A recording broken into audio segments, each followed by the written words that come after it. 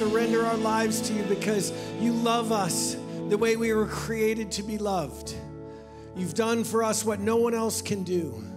You saw us before we knew ourselves, and you've loved us everlastingly. And Father, we are so grateful. And so we take these minutes and we use the words we know, the songs we have to sing. We give you the attention and the devotion of our hearts. And we say, Thank you. And you're awesome. And we love you. In Jesus' name. Amen. Amen. You all may be seated.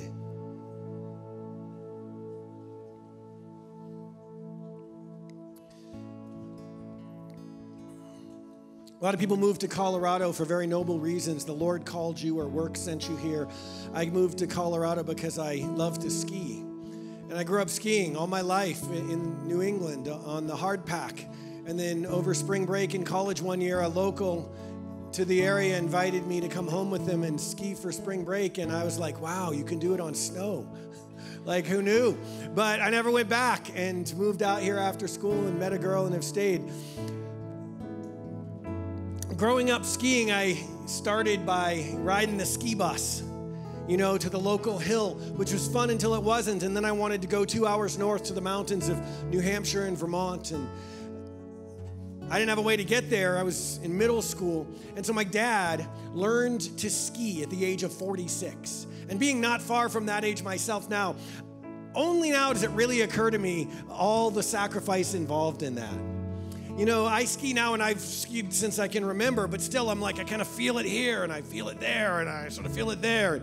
And then you got to go to work the next day. My dad, who was a pretty accomplished man, you know, he, he, he was a PhD and he was a, a, a successful, smart guy, was a beginner, like with the little kids doing pizza.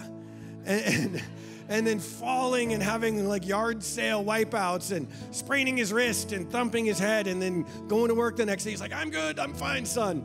And only later in my life did it occur to me, why would my dad subject himself to that?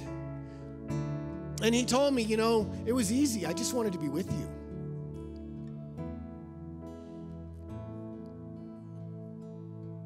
We're in Passion Week. This is the conclusion of it. And those of us who walk that road with Jesus.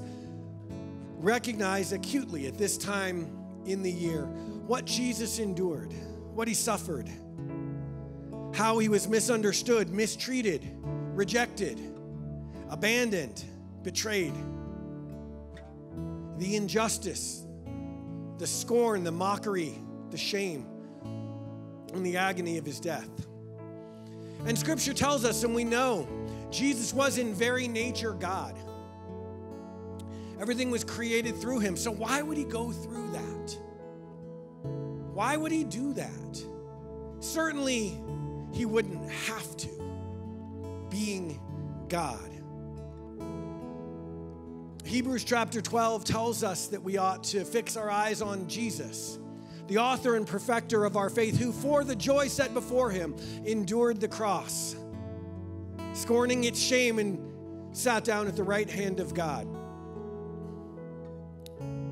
He endured the cross. That's an apt description. It was a week of endurance, to say the least. And it gives a glimpse as to the why. Why would Jesus go through? Why would he endure that indignity and loss? It teaches that it was for the joy set before him. The win was somewhere out there. Jesus saw the prize. Perhaps being in nature God, he could look ahead, and it was for that long term win that he endured this short term misery. And so, what's the joy? What was set before him that was so good, that was so amazing, that it would be worth that? Like one of the passages teaches that. Um, he was given the name, right? The name that is above every name. You're like, well, that's awesome. Uh, but yeah, if I'm him, and granted my understanding is very limited, I'm like, hey, call me Frank forever and save me the whipping post. I'm good. Like, I don't know if the name alone is the win. Or it says that, you know, he got to sit down at the right hand of God, and while unimaginably cool to be God's right hand man and to have a front row seat, I'd be like, hey, save me the cross and I'll sit back in the fifth row and I'm fine with that?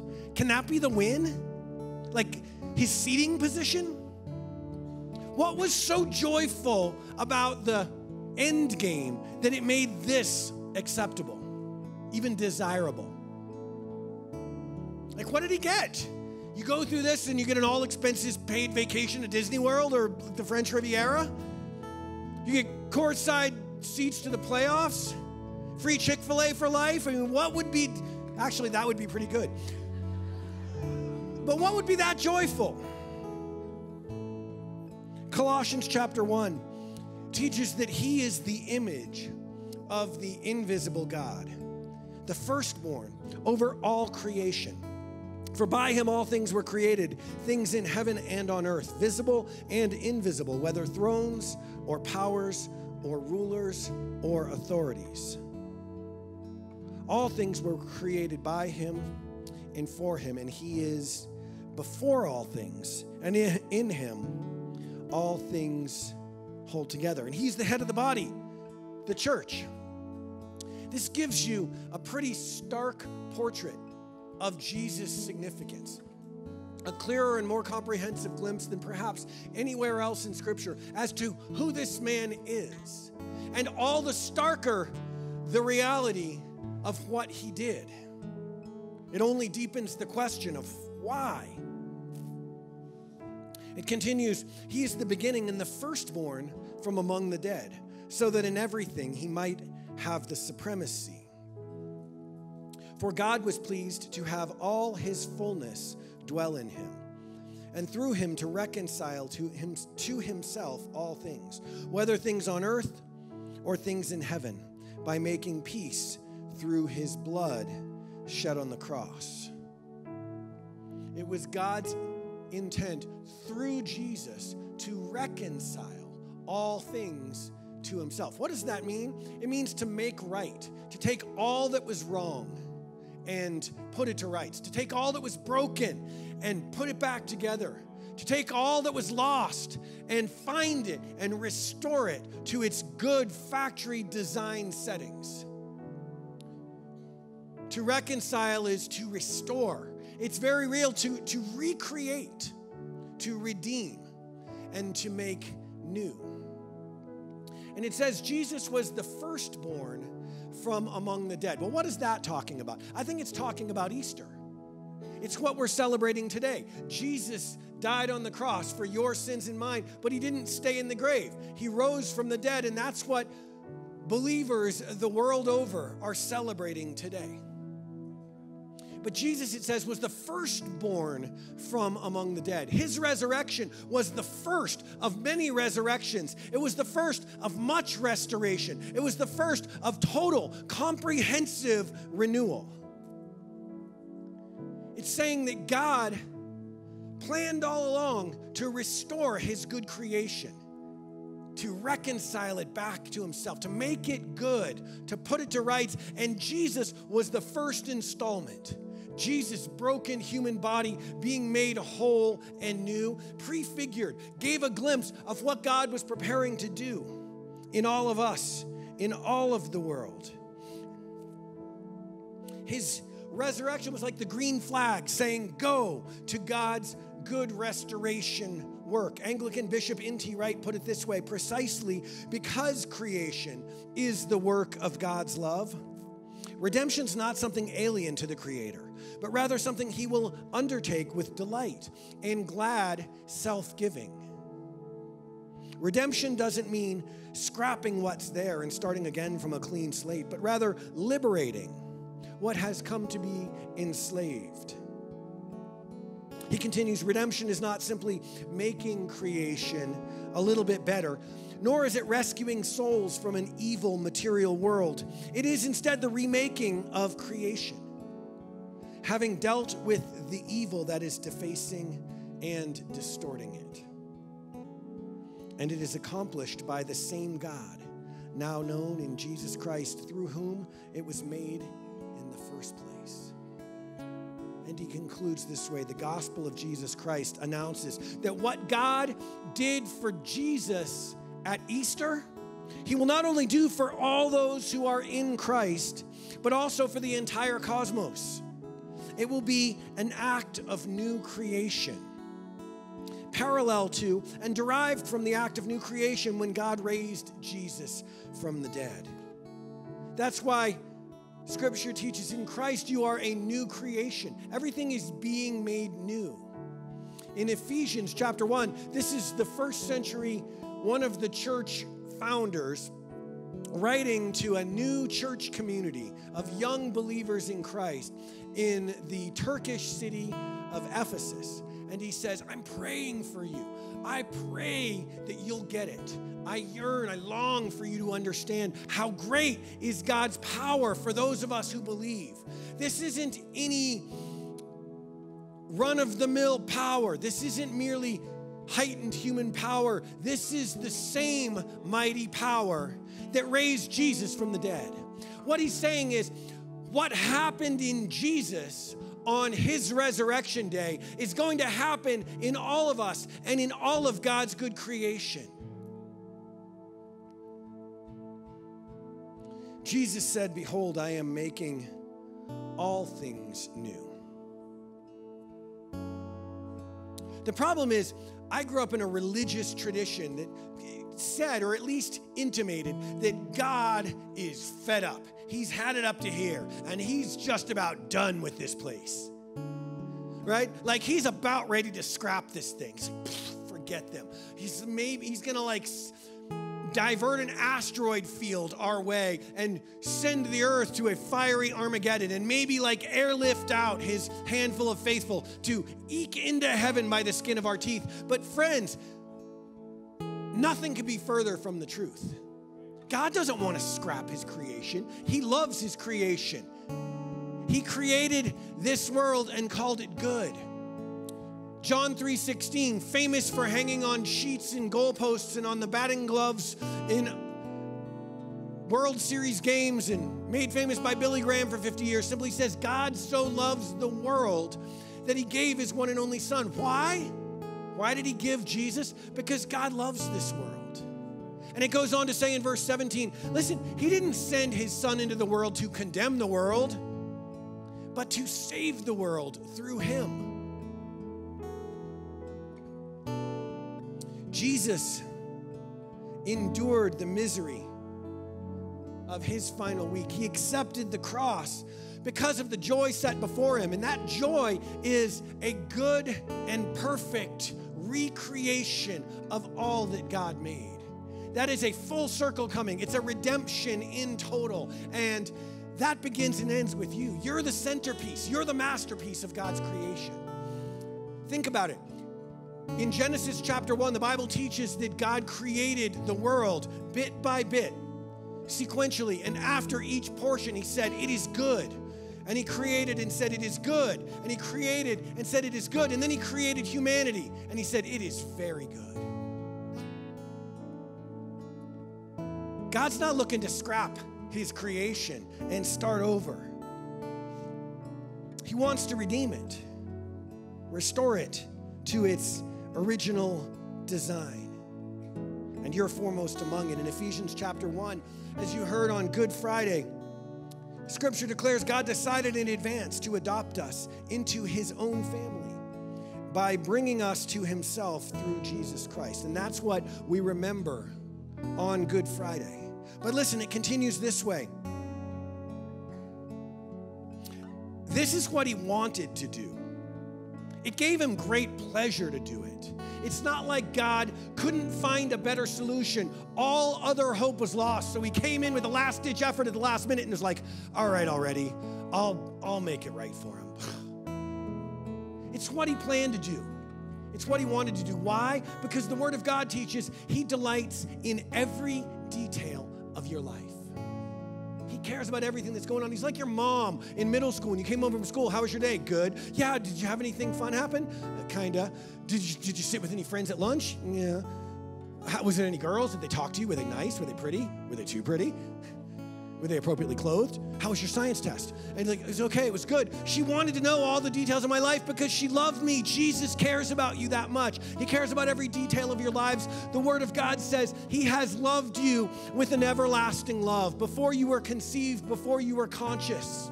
And long after this body goes back into the earth, He will love you. And that's the why.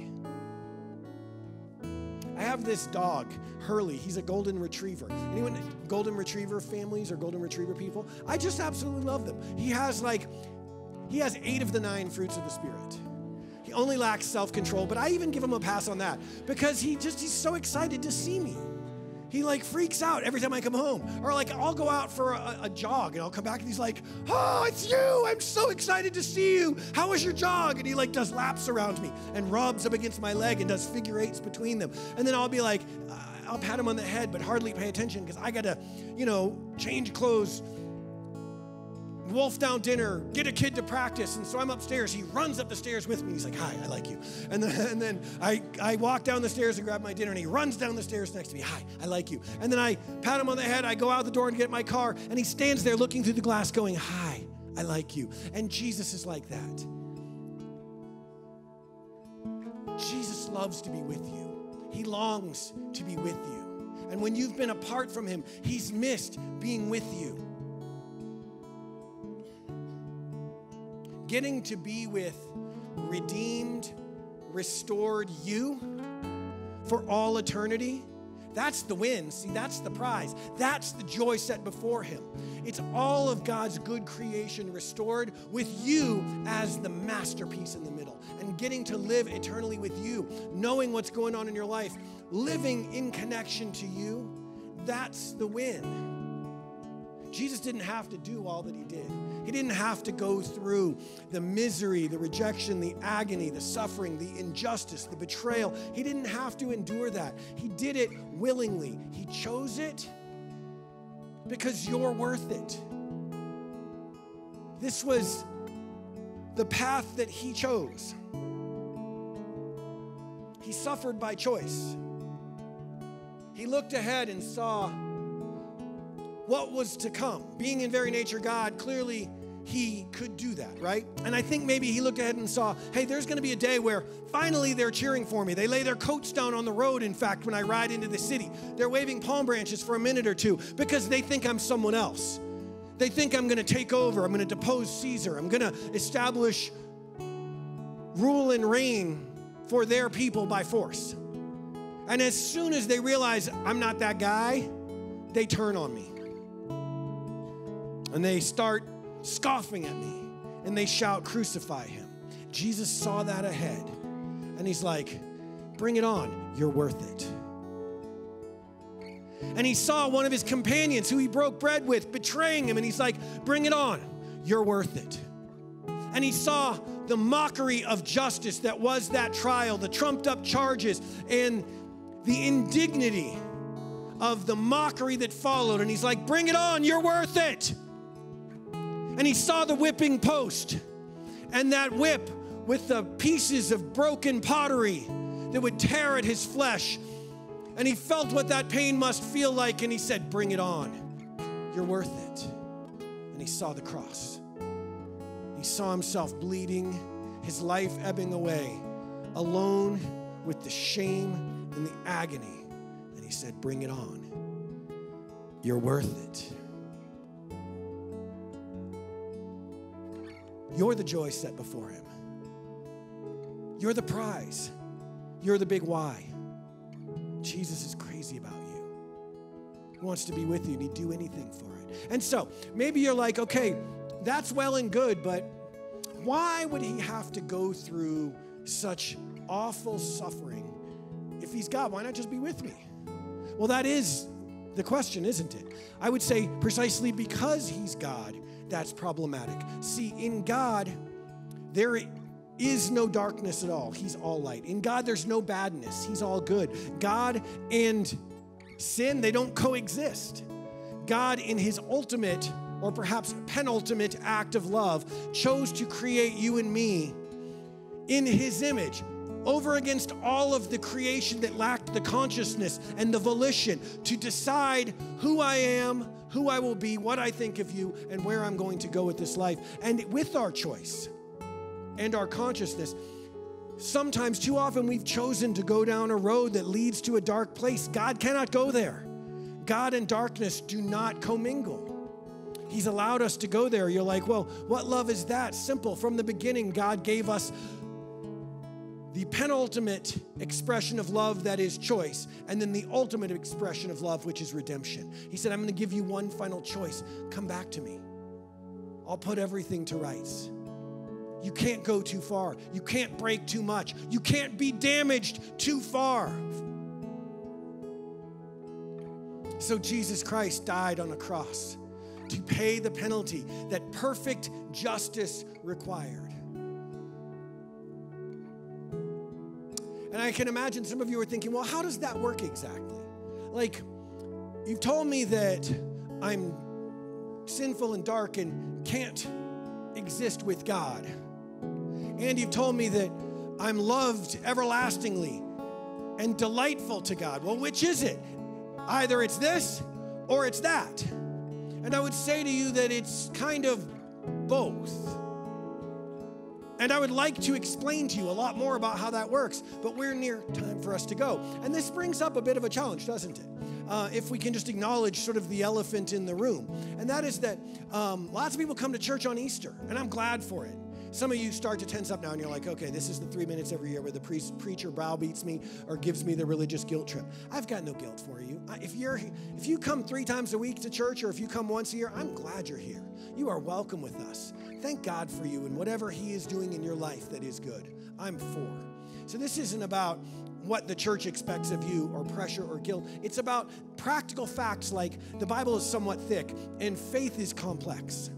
And there are some questions that these truths raise in your mind that we're not going to be able to get to today. And this brings up the sort of conundrum of coming to church on Easter. And that is that you kind of hear the same story every year, right? I mean, slight variations on the theme, but he kind of rose from the dead every year and we talk about how he's got good plans for you. Hey, this is Jesus' resurrection day. It could be your resurrection day too. You've probably heard it a few dozen times if this is your rhythm, and that's good. It's not bad. It's just that there's more to it. So you've if you're not careful, it creates sort of a self fulfilling prophecy, right? Like, well, yeah, but there's so much more, they just gloss over. Well, no, that's kind of what the other 51 weeks are for. You're like, well, how will next week be different? Uh, I mean, you probably wouldn't have to sit in a folding chair. I might not have a sport coat on you know, but otherwise, we're going to worship God. We're going to talk about uh, practically and, and, and hopefully about what it means to receive God's love and live out of it. Live into the people He's created us to be, the good plans He has for our lives. Like, uh, you know, you don't have to scoff very long before getting to this point of scoffery. Like, yeah, but, you know, the religious people tell me that God created it in seven days, but, you know, we've kind of everyone else, except those people with their heads in the religious sand, have sort of acknowledged that radiocarbon dating exists and dinosaurs happened. And so, so there. Well, yeah, that's that's exactly right. But I would suggest that God's big enough for science. He thought of it. He created the laws of motion, the laws of thermodynamics and entropy. God thought of these long before humans discovered them and approximated their understanding. And He's happy for us to plumb the depths of his knowledge. He says, If you lack wisdom, cry out and I'll give it to you. But you may or may not get it in 22 minutes on Sunday if you come on Easter. So here's my, I've got two invitations for you. One is, I'd love to invite you back. Would you give me four weeks, not counting today? I get today for free. It's Easter. Like your mom made you go. This isn't on me, this is on your mom. But think about it.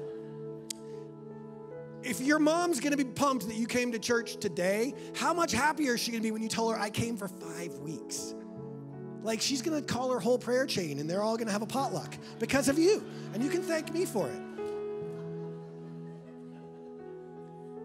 Give me four weeks because we're going to talk about some of these practical, where the rubber meets the road things like how can it be this but that? What is the Bible anyway? Isn't it a bunch of people who wrote stuff down and there's all these contradictions and, and inaccuracies, but it's supposed to be the divine revelation of God. Aren't you all pulling the wool over your own eyes? Maybe. We're going to talk about that. Give me four weeks. How can I live in a world of advanced degrees and be expected to believe that a snake talked to a dude uh, uh, after a woman ate an apple, right? We're going to talk about that. I don't have a clue, but George is going to explain it to you next week. as a matter of fact. He said God gave him a special revelation on the talking snake. So, or you could just ask him afterward. He was hoping to spend this afternoon, you know, with a little. So, would you give us four weeks? Would you come back? And then, you know what? Jesus said, taste and see that the Lord is good. Well, taste. And if it's not, if he's not good to you, I don't take offense to that. Or if you're like, yeah, he's good, but I don't really like you very much, I'm okay with that. Like I'm I'm okay with myself. You you know, I hope you find a place that is. But would you come back? And then the second invitation is this. Would you let Jesus make you new? Would you let Jesus make you new? He said, Behold, I'm making all things new. This is the glory of his resurrection, not just, hey, congrats, Jesus but what Jesus' resurrection means for you and me, for our creation. God's not getting ready to airlift us out of this world. The hope isn't that you get to play a harp on clouds with cherubim for eternity. It's that God restores all things. And listen, He wants to restore you. And you're like, but you have no idea what I've done. Yes, but Jesus Christ paid the price for all of it. You're like, yeah, but it would take me a while, like weeks probably, take me the whole four weeks just to get myself back up to a buildable ground zero. You know, God can't steer parked cars, I think what I the Bible says. Well, no, actually, God can steer a car that's broken and won't start. He'll meet you right where you are. You're like, but you don't know what's been done to me. It's true. But every iniquity, every withdrawal, every failure, every letdown from your parents, from hurt people who are hurting you, from the church. I'm so sorry if you've been to church and it's been hurtful to you. People have hurt you in the name of Jesus. That ought not to be. We're all kind of working this thing out, two steps forward and one step back, but Jesus will make that new.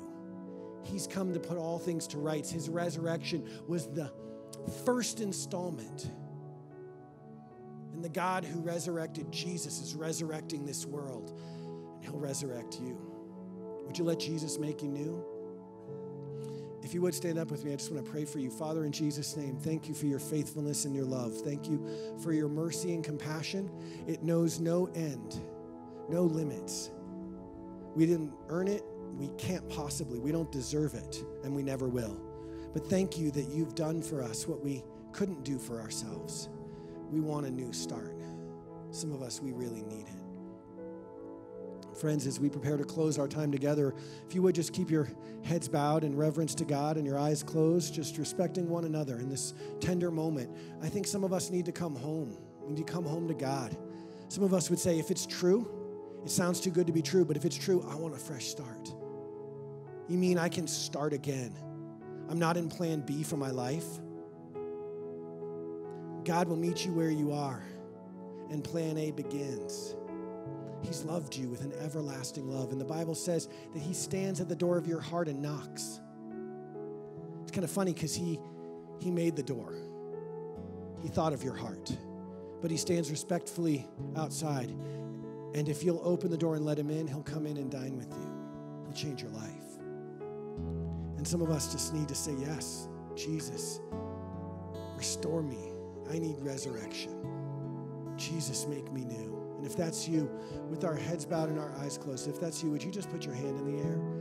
We're not going to embarrass you. We're not going to drag you out of your seat or make a show out of you. You can stay right where you are. I just want to pray for you, okay? I see you. I see all over the room. I see you. We'll wait for you. Some of us need to come home this morning. This can indeed be your resurrection day. You get a fresh start. God will make all things new. Some of us have known him, but from afar, we've gone through the motions, but our hearts have been going in a different direction, and we need to come home. You can start again. We'll wait for you. Anyone else? All over the room, hands in the air. Anyone else? We, I just want to pray for you right where you are. Man, thank you. What an important decision you're making. All right, can we pray this together? I'll tell you what, would you just repeat this after me? Let's all declare this as one, in, in one expression of unity and solidarity, whether you're giving your life to Jesus for the very first time or for the first time since Tuesday. Um, it's okay to get saved again. Can we all pray this prayer together? Just repeat after me if you would. Heavenly Father, thank you for loving me. with an everlasting love. Jesus Christ, I can't believe you did that for me. I need you to make me new. Would you come into my heart and take control of my life and work out your perfect plans in me? I confess I'm a sinner and I need your forgiveness. I'm broken and I need you to make me whole. If you're willing to do that, I'm all yours. Friends, the Word of God says if you confess with your mouth that Jesus is Lord and believe in your heart that God raised him from the dead, you will be saved. So, Father, I thank you for my friends. I thank you for the work that you're doing in our world, that you are not angry, you're not waiting to throw a fireball at us, but that you love this place and you love these people and you're making all things new. Would you make us new today? It's in Jesus' name we pray.